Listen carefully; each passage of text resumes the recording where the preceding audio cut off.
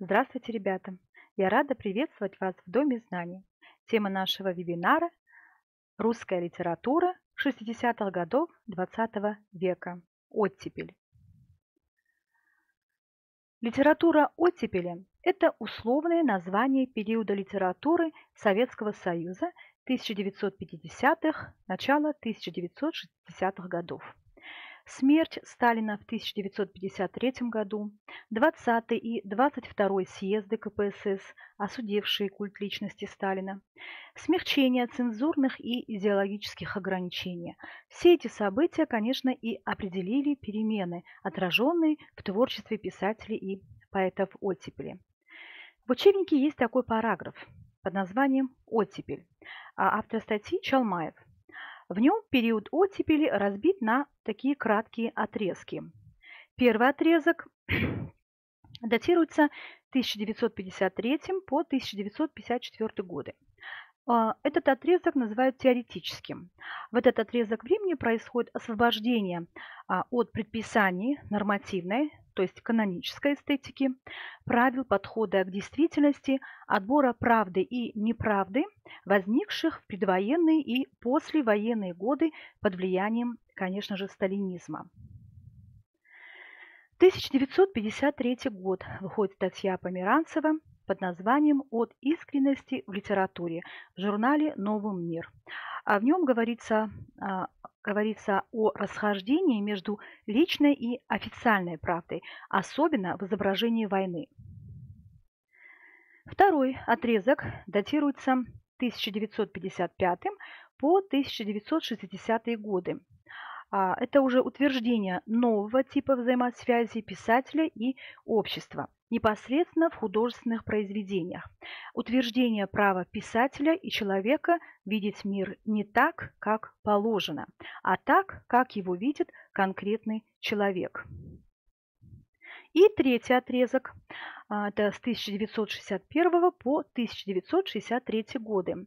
В нем происходит развитие утвержденных ранее тенденций и начало уже реакции.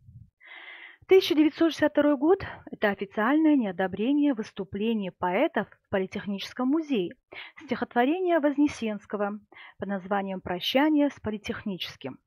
Высокая популярность поэзии Евгения Евтушенко и других авторов и яркие публикации в журнале «Юность». Символом этого времени стал журнал «Новый мир», в котором была опубликована статья об искренности в литературе Померанцева, где, как уже было сказано, подвергался критике принцип партийности в литературе.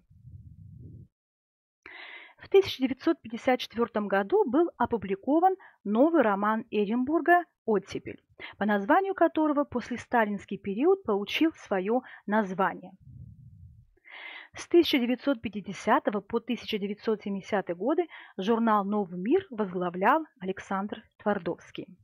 На посту главного редактора он способствовал появлению в журнале ярких и смелых публикаций, собирая вокруг себя лучших писателей и публицистов.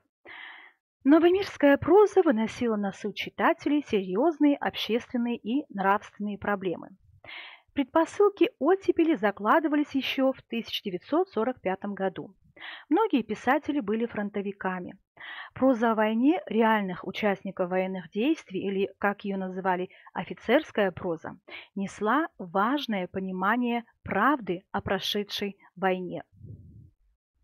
Первым поднял эту тему, ставшую центральной военной прозе 50-60-х годов, Виктор Некрасов, повести «В окопах Сталинграда», вышедшей в 1946 году. Константин Симонов, служивший фронтовым журналистом, описал свои впечатления в трилогии «Живые и мертвые». В повестях писателей-фронтовиков Григория Бакланова, Юрия Бондарева, Константина Воробьева на фоне подробного, без описания военной жизни впервые прозвучала тема осознанного типичного выбора в ситуации между жизнью и смертью. Знания фронтовой жизни и опыт выживания в лагерях легли в основу творчества Александра Солженицына.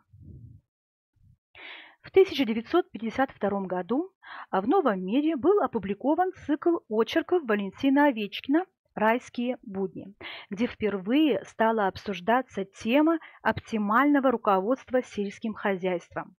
Дискутировалось, что лучше – волевое давление или предоставление сельским хозяйствам необходимой самостоятельности.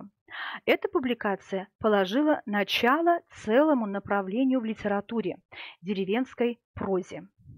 Сергиенко писал о периоде оттепели – Середина 60-х годов – это время первой оттепели. Характеризовалась яркой и длительной вспышкой читательского и особенно зрительского интереса к поэзии.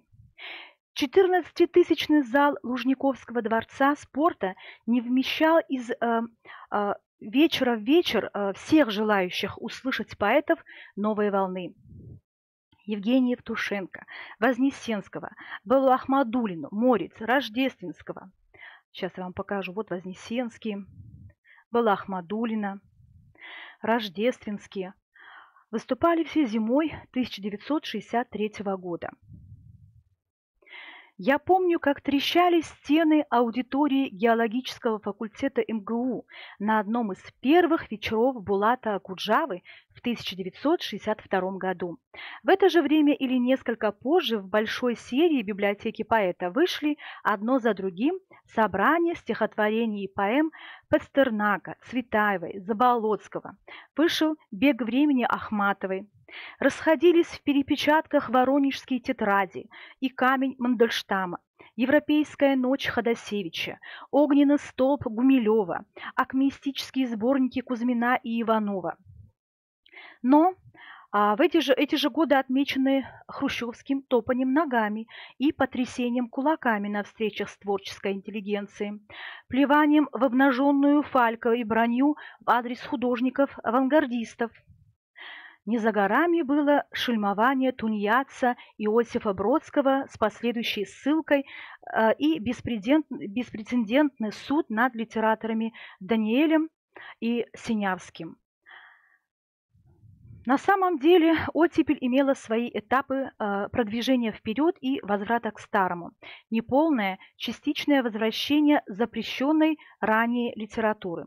Например, э, публикации романа «Мастер и Маргарита» в 1966 году или выход девяти томов собрания сочинений Ивана Бунина в 1956 и эпизоды проработок осуждения.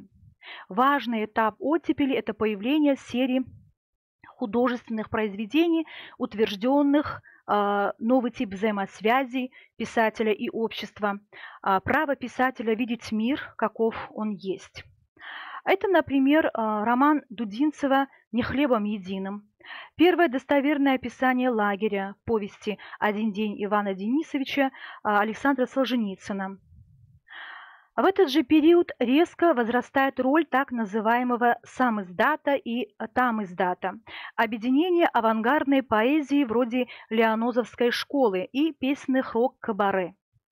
Болезненной и острой была реакция властей на публикации некоторых авторов за границей. Этому придавался статус чуть ли не государственной измены, что сопровождалось принудительной а, высылкой, скандалами, судебными разбирательствами и так далее. В 1958 году разгорелся скандал а, по поводу присуждения Нобелевской премии Борису Пастернаку за напечатанный за границей роман «Доктор Живаго». Писателю пришлось отказаться от этой премии. В 1965 году последовал скандал с писателями Андреем э, Синявским и Юлием Даниэлем, а с конца 1950-х годов а, опубликовавшими свои произведения на Западе. Они были осуждены за антисоветскую агитацию и пропаганду на 5 э, и 7 лет лагерей. Владимиру Войновичу после публикации на Западе роман «Жизнь и необычайные приключения солдата Ивана Чонкина» пришлось покинуть СССР, так как надеяться на издание своих книг на родине он уже не мог. Помимо там издата, характерным явлением общества того времени становится самиздат. Многие произведения ходили по рукам, перепечатанные на пишущих машинках или простейшей множительной технике – Сам факт запретности подогревал интерес к этим изданиям, способствовал их популярности. На этом, ребята, наш вебинар подошел к концу. Всего вам доброго, до свидания.